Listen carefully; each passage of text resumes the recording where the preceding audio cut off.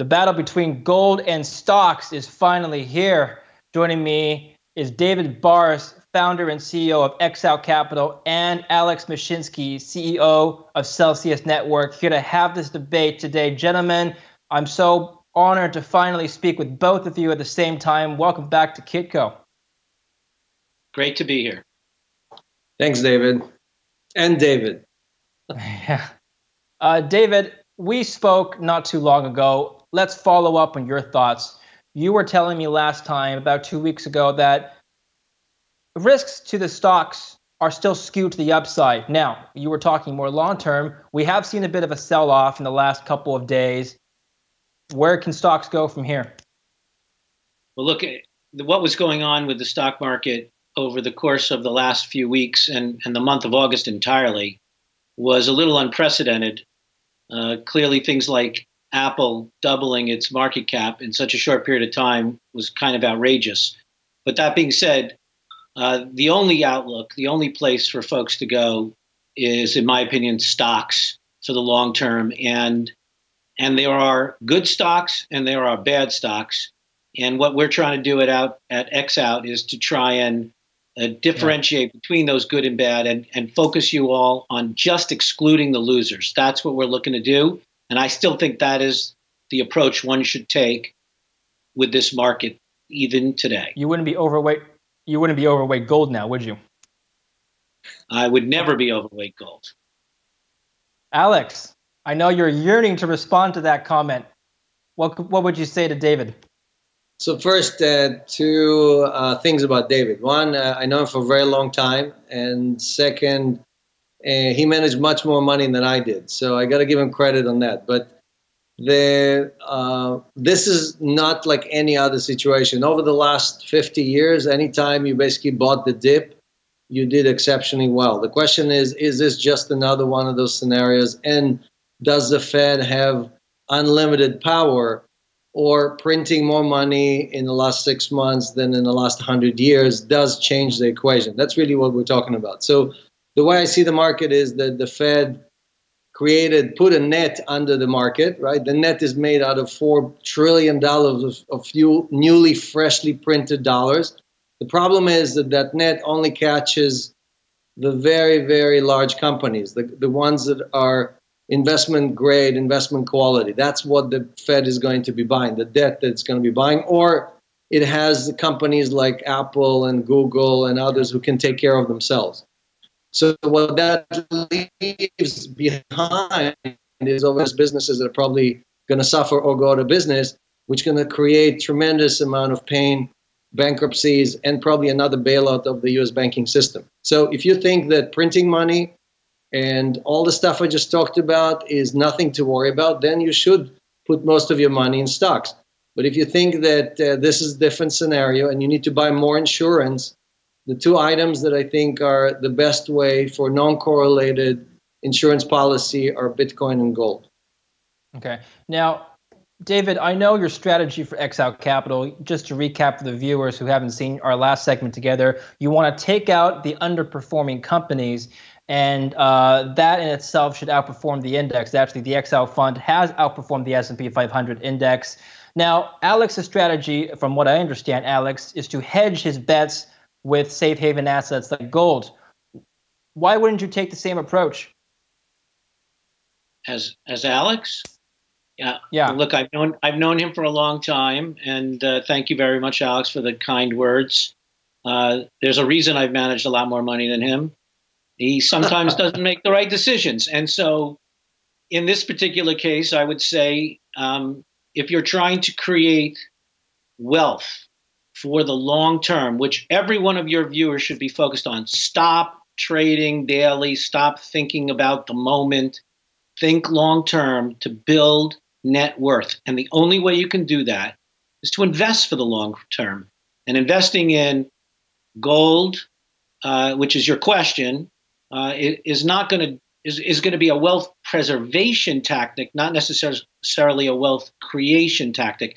Bitcoin's a different story, and I think Alex has a very, very interesting, novel, and uh, way ahead of the curve approach on on the crypto marketplace. which has a far different, I think, outcome than than gold. But if we're if we're responding to your question specifically, yeah, uh, yeah, it's just not the same, and it's not a same analysis at all. Uh, David, let's follow up on that. What is the difference between wealth preservation and wealth creation? I think some people might argue that in today's environment where we have so much uncertainty from COVID, from the Federal Reserve, um, from stock markets being trading at, uh, some people think they're not really supposed to be this high. Wealth preservation is more important than creation. Would you agree or disagree with that statement? Uh, look, I, I think over the long term, you you can't have.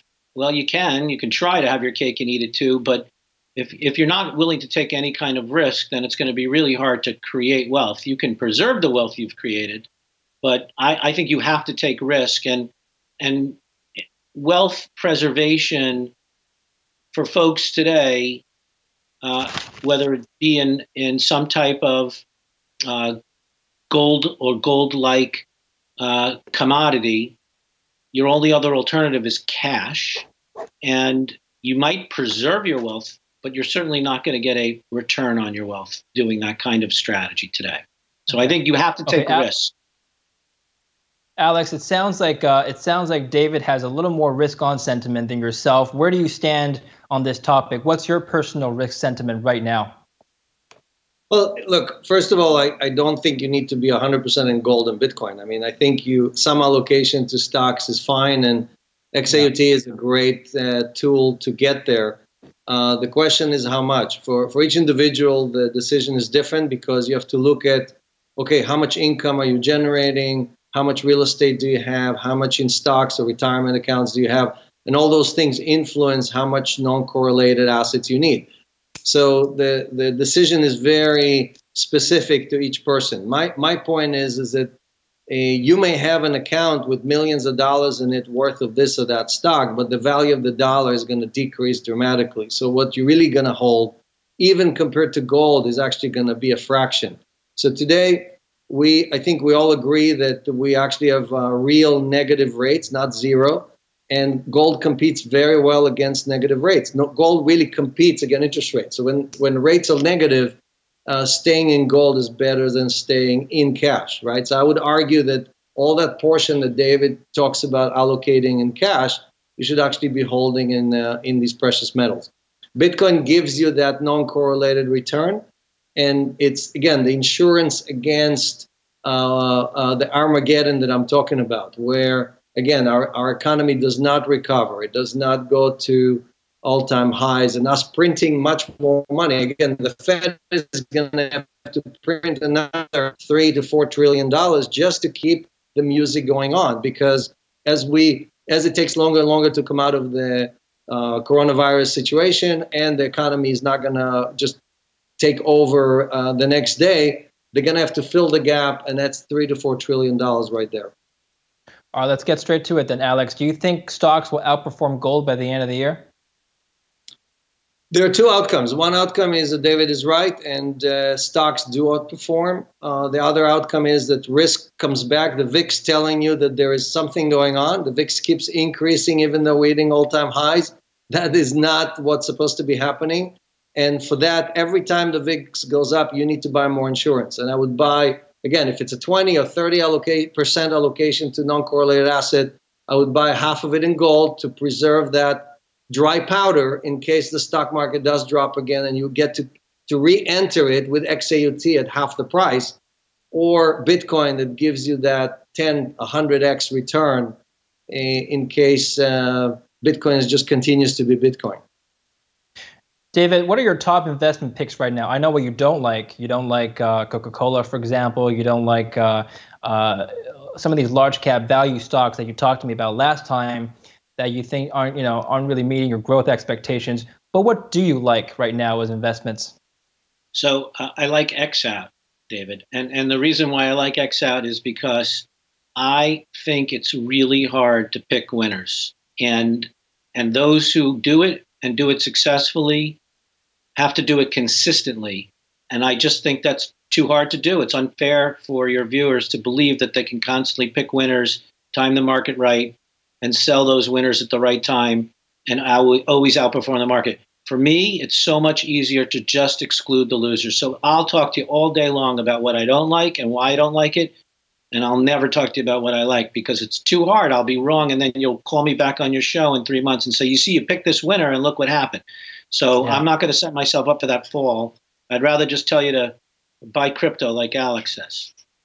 Yeah, all right. Alex, I know what you like. You like Bitcoin, you like gold. What do you not like, then, since we're talking about the topic of things to take out of your portfolio? What do you not like, Alex? Well, I don't think anyone should be holding bonds these days, not corporate bonds, not government bonds. I think uh, that's like picking a penny in front of a steamroller. There's nothing left there, just risk. And uh, if you want to de risk your portfolio, then don't buy bonds, right? And you should take all that money and reallocate it to assets that give you protection because uh, you're not getting any income there, right? You you're just getting risk. So I think that is a easy decision for most people. Well, they've lived with bonds for the for the rest of their lives, right? So it's very hard for most people to follow my advice. Again, not investment advice, but just my opinion. Uh, but really, the question is, it's not zero or hundred. It's just a question of allocations. And if you believe that this is uh, not normal times, you believe that the Fed does not have unlimited power, you believe that the US dollar, uh, which by the way already lost 93% of its value since 1970 against the gold, right, against the gold standard, uh, will continue to lose its value. And it can lose another 90%, you know, as we've seen from every fiat currency that predated the dollar. I have one last question for the both of you. I, I love speaking to the both of you because you're not just investors, but you're also entrepreneurs in your own right. So, Alex, you've you know you founded Celsius Network. Alex, you're found uh, David, you're founder of XOUT Capital. Now, you're looking around at the the investment landscape right now. Take a look at the startup landscape. What advice do you have for entrepreneurs who are launching their own business in today's environment? What what kinds of growth opportunities should they be looking for? Let's start with you, Alex.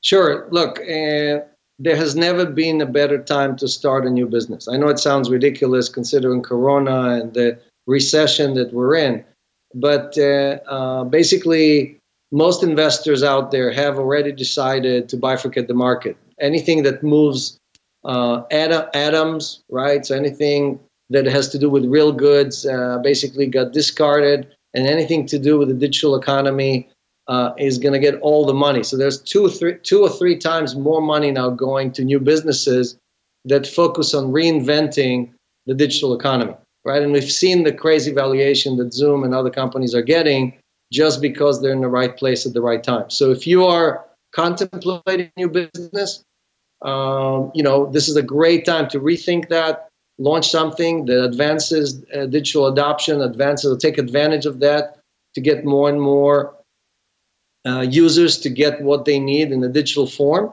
and you will be able to raise all the money you need for that. So that's really my uh, best advice. You you do have to come up with an original idea and you do have to put assemble an amazing team uh, but that's never been a better opportunity to do that. David what do you think? Yeah and i'll, I'll, I'll tell your viewers I, I agree with what alex just said but i'd also add the simple rule of the triple p's ppp you need you need passion whatever that idea is, you better be passionate about it, and you have to convince others that your passion is is somewhat um, capable of, of helping others understand why this idea makes so much sense. You need persistence because while it might be a great time to get into a new business right now, it's hard to to start a business and and get supporters and backers for it. And you have to just keep being persistent. You're going to hear no a lot more than you're going to hear yes. And that shouldn't be a reason to give up. And then the last thing is obviously patience because it takes more time. It will probably cost a little bit more money than what you think before you get to that so called break even point or crossover point. But those three simple rules, everyone should remember them, think about them all the time, and then go for it because the reward of the success of, of achieving your own business idea is there's nothing like it. Maybe maybe something might be just as good, but I don't want to talk about that on air. I thought you were talking about the PPP loan. That all you need yeah, is a PPP loan. You know, some people are using that for, for, their own startup ideas, but that's not. They've been punished for that. Yeah, and, and David, Celsius is my eighth company, so I've done this uh, uh, eight time in a row. So uh, as a startup uh, founder, There you go. so Yeah, I mean, once- definitely, Once, you, once you've been able to adopt those triple Ps, you could be like Alex. You could be a repeater, and repeaters obviously it becomes a little bit easier the second, third, fourth, and then eighth time because people have a track record that uh, can be relied upon for continued success. and We passion is have, we actually have two minutes left. So, have you guys ever shared ideas for, I guess, new businesses or new ideas? What What are some of the things you've talked to each other about? Well, David David was nice enough to share XOUT with me when he was still thinking about it, and uh, I loved it. I told them this is amazing. It's so simple, right? It's so simple that you go and like, wait a second. it, how come no one has thought about that? Like David said, it's much easier to figure out who the losers are than who the winners are.